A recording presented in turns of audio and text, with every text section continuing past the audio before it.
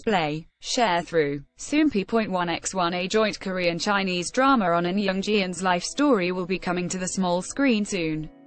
On July 11, in response to reports of the drama's production, the Yoon Media Group confirmed the drama, Snow's Son, working title, will be about An Jung Geun and his anti-Japanese resistance, struggle, spirit, and desire for peace in East Asia. Filming will begin in October, and the drama is slated to air in the latter half of 2019 in China first. Soompi. Display, News. English .300x250, BTF Soompi. Mobile.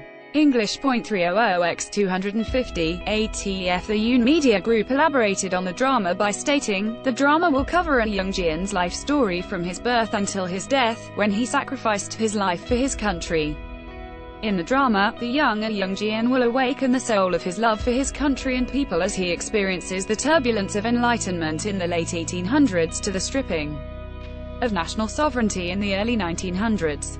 The 43-episode pre-produced drama will be co-produced by China Huge Base Industrial Development Limited Co., with a production budget of 40 billion won, approximately $35 million.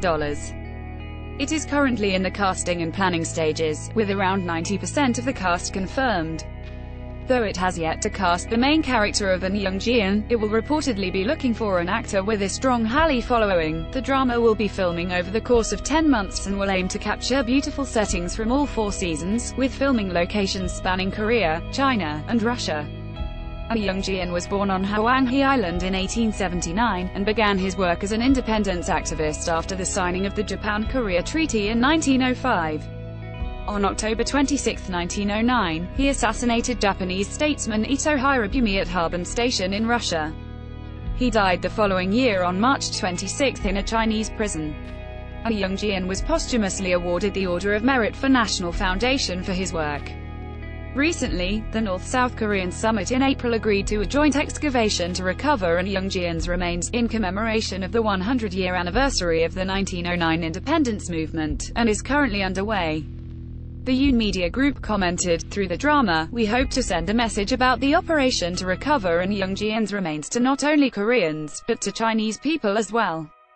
If both North and South Korea begin to work together to recover his remains, then private entities may find some way to help as well. Source 1, 2